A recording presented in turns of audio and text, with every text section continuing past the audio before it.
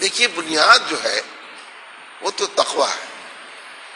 یہ جو کہا گیا نا، یا الذین امن کتب علیکم السیام کما کتب علی الذین من قبلکم لعلکم تتقون۔ یعنی تقوا اصل بنیاد ہے کہ روزے فرضی اس لیے گئے، کیے گئے۔ ہیں یہ جو آیت میں نے آپ نے، آپ کے سامنے پڑھی ہے بہت سارے مفسرین کا اہل علم کا خیال ہے کہ یہ رمضان المبارک کے روزوں سے متعلق نہیں ہے۔ اس لیے کہ یہ تو ایام معدودات کے بارے میں ہے۔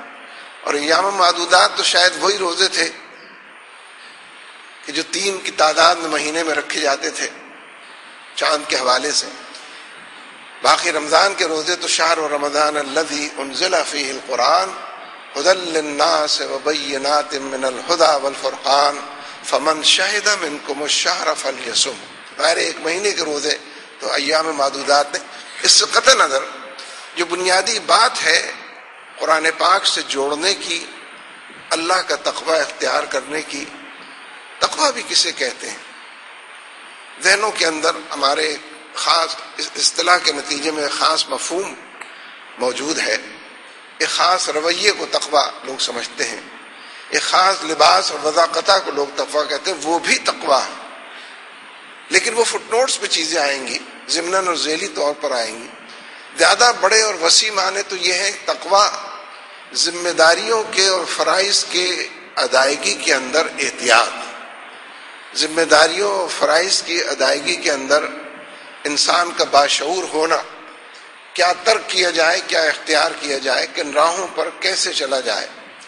ویسے تقوا کی ایک بہت اچھی تشریح وہ ہے، جس میں یہ بیان کیا گیا ہے کہ تقوا قلب کی اس کیفیت کا نام ہے کہ جو گناہ اور معاشیت کے بارے میں آدمی کو حساس بنا دے۔ گناہ اور معاشیت اور نافرمانی کا ارتکاب تو ممکن ہے انسان ہونے کے ناطے لیکن جب جب گناہ کی طرف انسان بڑھے، چلے، ان راہوں سے گزرے تب تب اسے یہ خیال ہو کہ میں ویسے ٹھیک تو نہیں کر رہا ہوں۔ یہ مجھے کرنا تو نہیں چاہیے۔ یہ میرے جیسے آدمی کو، صاحب ایمان کو زیب تو نہیں دیتا۔ یہ جو احساس ہے، گناہ کا احساس، نافرمانی اور ان رویوں کے اوپر اپنے رب کے حوالے سے یہ احساس، تو گناہ کے بارے میں معاشیت کے بارے میں، طبیعت کی حساسیت کا نام تقوا کہ ہر گناہ کے بارے میں آدمی میں نظامت کی کیفیت ہر معاشیت کے حوالے سے لوٹنے اور پلٹنے کا ایک معاملہ اور اپنے رب سے رجوع کرنے کی کیفیت ہو اور آپ مجھ سے اتفاق کریں گے کہ ہم سب لوگ جو یہاں بیٹھے ہیں اور جو یہاں بیٹھے نہیں ہیں، ہم سب بڑے حساس لوگ، بے ہی سب میں سے کوئی بھی نہیں۔ جسم و جان کی دنیا میں ہم اس قدر حساس ہیں کہ انگلی میں کوئی پھانس چپ جائے یا پیر میں کوئی کانٹا چپ جائے تو پورا جسم احتجاج کرتا ہے اور کہتا ہے کانٹا نکالو تو پھر سفر کروں گا، پھر اس پیر کو اٹھاؤں گا اور رکھوں یعنی ایک معمولی سی تکلیف کے بارے میں بھی جسم و جان بڑے حساس اور یہ جو جذبات کی اور خیالات کی اور احساسات کی دنیا ہے، جو اصل دنیا ہے، اس میں تو اس سے بھی زیادہ حساس ہماری مرضی کے خلاف کوئی بات ہوتی ہے تو غصہ آتا ہے، جھنجھلاہٹ کی کیفیت ہوتی جذبات میں تلاتم پیدا، ہماری مرضی کے خلاف بات ہو رہی ہماری طبیعت پر ایک بوجھ سا ہوتا ہے، یہ کیا ہو رہا کوئی ہماری مرضی کے مطابق بات کرے، دو بھلے بول ہمارے سامنے ہمارے بارے میں کہے جی چاہتا ہے اس کی پیشانی چوم لی جائے۔ کتنی بھلی باتیں کی ہیں اس۔ جذبات اور احساسات کی دنیا میں تعریف بہت پسند آتی ہے۔ تنقید اور تنقید بہت بری لگتی ہے۔ اس لیے ہم سراپا، مجسم، پورے جسم و جان کی دنیا میں بھی بڑے حساس ہیں۔ سینسٹیو جس کو کہتے ہیں۔ اور جذبات اور خیالات اور احساسات اور آرا کے دائرے کے اندر بھی بڑے حساس ایک ایسا شخص جو سراپا حساس ہو، عجیب بات ہے کہ وہ اللہ کی نافرمانی کے بارے میں بے حص ہو جائے۔ گناہ کرنے کے بارے میں اس کو پتہ ہی نہیں چلے کب میں نے گناہ کیا کیسا گناہ۔ اچھا یہ گناہ مجھے تو خیال ہی نہیں رہا گناہ میں نے کیا۔ آپ کے بتانے سے کچھ خیال آتا ہے، لیکن ایسی کوئی خاص بات تو نہیں ہے اس پہ بھی۔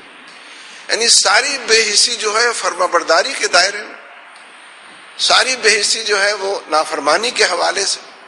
اس لیے تقوا انسانی قلب کو مانچ کر، دھو کر اور اس کا تسکیہ کر کے اس مرحلے سے دو چار سرشار کرنے کا نام ہے کہ جو طبیعتوں میں اس قدر مجائی دھلائی کر دے کہ گناہ تو سرزد ہوگا، زبان سے بھی ہوگا، آنکھوں سے بھی ہوگا، دل و دماغ کی دنیا میں، خیالات اور احساسات کی دنیا میں بھی ہوگا۔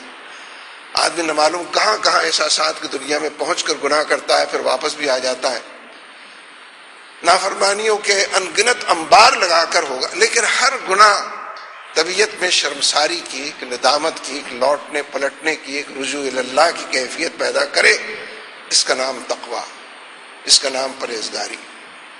عبادات میں نماز کے بعد حقیقت یہ ہے کہ روزے کے اندر وہ پوری صلاحیت موجود ہے کہ جو انسان کو اس تقوا سے اس تعلق باللہ سے، اس اللہ کے ساتھ جوڑنے کے عمل کو تیز تر کرے اور بہتر بنائے۔ بات تھوڑی سی آ گئی ہے، میں پھر اس کو دوبارہ عرض کرتا ہوں۔ دیکھیے، یہ جو بھوک پیاس ہے، کسی اور کی نہیں، اپنی اور آپ کی بھوک پیاس کا ذکر کر رہا ہوں۔ روز واسطہ پیش آتا ہے۔ پہلا دن، دوسرا دن، بیس دن ہو گئے بھائی، اب تو بائیس دن ہو گئے، اب تو آج تو تیئیسواں ہو گیا ہے بھائی۔ کیومولیٹو افیکٹ بھی ہوتا ہے۔ مسلسل تیئیسواں، چوبیسواں حالانکہ روزہ چھوٹا ہو رہا ہے، گھٹ رہا ہے۔ پندرہ گھنٹے کتنے منٹ سے شروع ہوا تھا، بیس، پچیس منٹ کا فرق بھی واقع ہو گیا شہری کے حوالے سے بھی۔ یہ جو ایک مسلسل عمل ہے، اس مسلسل عمل کے نتیجے میں یہ جو بھوک، پیاس کی بات میں عرض کر رہا تھا، اور بے آرامی کی کیفیت بیان ہو رہی تھی۔ یہ جو بھوکا پیاسا آدمی ہے، کچھ اندازہ ہوا آپ کو؟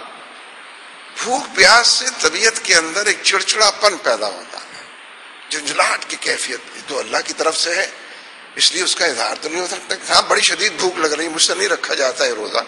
کون کہے گا یہ؟ لیکن طبیعت میں ہر روز گیارہ بجے سے بھوک لگنے لگتی۔ ہر روز ایک بجے کے بعد طبیعت میں ایک ڈھال پنا پیدا ہوتا ہے۔ یہ جو ہر روز کی بھوک پیاس ہے، یہ جو ہر روز کی مشقت اور بے آرامی ہے، یہ جو ہر روز رات کو تین بجے اٹھنا ہے، اس سے طبیعت کے اندر ایک جھنجھلاہٹ کی، ایک چڑچڑے پن کی، اور جو اس طرح کے الفاظ ہیں، ایک ضد کی کیفیت پیدا ہوتی ہے۔ اس کے جتنے مظاہر ہیں، وہ بھی اوت کر آتے انہی تمام مظاہر پر قابو پانا اسی کا نام ضبط نفس ہے روزہ اسی کی تربیت دیتا کہ بھوک پیاس میں آپے سے باہر ہو جانا، بے آرامی کی کیفیت میں چڑچڑا ہو جانا، چیزیں اٹھا اٹھا کر پھینک دیں۔ ہمارے ہاں مختلف محاورے سیکولر بھی رائج ہے نا۔ مثلا یہ سیکولر محاورہ ہم سب بار بار بولتے ہیں۔ کسی کو کسی پر غصہ اتارتے دیکھا، کسی کو کسی سے جھگڑتے دیکھا تو ہم کہتے ہیں ان کو روزہ لگ رہا۔ حالانکہ یہ تو روزے کی تمام حوالوں سے اس کی نفی کی کیفیت۔ لیکن لوگ کہتے ہیں کہ یہ کلچر موجود ہے معاش تو جو لوگ اس طرح سے اپنے غصے کا، جو ملاٹ کا اظہار کرتے ہیں، وہ ضبط نفس کی تربیت جو روزہ دیتا ہے، اس کو لینے سے انکاری ہوتے ہیں۔ ورنہ حقیقت یہ ہے کہ کبھی اس پر بھی مراقبہ کر لیں۔ اہل اعتکاف کو تو یہ سہولت بہت حاصل ہے، لیکن اوروں کے لیے بھی عرض کرتا ہوں۔ اعتکاف کے لیے کسی، مراقبے کے لیے کسی کونے میں چادر ڈال کر بیٹھنا ضروری نہیں ہے۔ آدمی اکیلا اپنے آپ سے باتیں بھی کرتا ہے، مکالمہ بھی کرتا ہے، اپنے حوالے سے اپنے بارے میں تذکرہ بھی کرتا ہے، یہ سب مراقبہ ہی ہے نا۔ ذرا کبھی اس حوالے سے مراقبہ بھی کریں کہ کل کا روزہ تو بہت سخت گزرا تھا، اب آج کا پھر تو لو ہو گیا ہے اور ابھی تو آدھا ہی گزرا ہے۔ یعنی کیا کچھ گزرے گی؟ گوہر ہونے تک والی بات۔ اگر یہ تمام کیفیات کو آپ کبھی جمع کر کے ان کا احتساب ان کا حساب لے کر جائزہ لے کر اس نتیجے پر پہنچے کہ حالت تو واقعی بڑی غیر ہو رہی۔ لیکن اللہ کے علاوہ کس سے بات کی جائے؟ روزہ تو اسی کے لیے ہے نا۔ اور اس سے بات کرنے کی کیا ضرورت ہے؟ اس کو تو سب کچھ معلوم ہے کہ کس حال سے گزر رہا ہوں۔ بوڑھے لوگ ہوتے ہیں، ضعیف لوگ ہوتے ہیں، ناتواں ہوتے ہیں، بیمار ہوتے ہیں، روزہ نہیں چھوڑتے۔ ہیں جس کیفیت سے گزرتے ہوں گے مجھے اور آپ کو کیا معلوم کس کیفیت سے گزرتے ہو؟ بلکہ ان تمام کیفیتوں سے گزرنے کے لیے تو کوئی بوڑھا، ضعیف، ناتواں ہونا بھی ضروری نہیں ہے۔ مجموعی انسان کی طبیعت اور مزاج پر بھی اس کا انحصار ہے۔ اور جو اس کی انگلیٹ ہے، جو سر سر سے لے کر پیر تک کا سراپا ہے، اس میں کئی چیزیں اندرونی طور پر ایسی۔ اسی لیے تو اللہ تبارک و تعالیٰ نے فرمایا کہ روزے کا اجر میں دوں گا۔